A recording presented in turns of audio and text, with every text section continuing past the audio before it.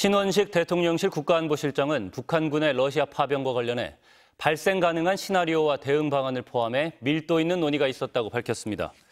신 실장은 현지 시간으로 25일 워싱턴 DC 주미 대사관에서 열린 간담회에서 백악관 국가안보보좌관과 한미 안보실장 간 양자 협의를 진행했다며 이같이 말했습니다. 그러면서 특히 북한의 파병은 유엔 안전보장이사회 결의를 명백히 위반한 것으로 한반도는 물론 국제사회의 안보를 심각하게 저해하는 행위라는 데 의견이 일치했다며 한미일 3국은 북러 군사적 밀착에 대해 긴밀한 공조화에 필요한 조치를 취하기로 했다고 강조했습니다.